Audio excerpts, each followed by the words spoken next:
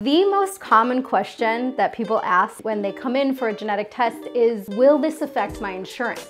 And the answer is that there are laws in the United States that protect people from genetic discrimination. That means if somebody is asymptomatic, but they have a predisposition based on their genetic test results, that their employer and their health insurance cannot legally use that information against them. This law is called GINA, or the Genetic Information Non-Discrimination Act. However, at this point in time in most states, GINA covers health insurance and employers, but it does not cover life insurance insurance or disability insurance. So if you go to take out a new life insurance plan, they can ask if you've had genetic testing and you would have to disclose that because otherwise it's insurance fraud. If you have come back with some sort of genetic change or mutation, they can use that information against you to deny you coverage. If you haven't yet taken out a life insurance plan and you are planning on doing it eventually, do it before you get your genetic test results.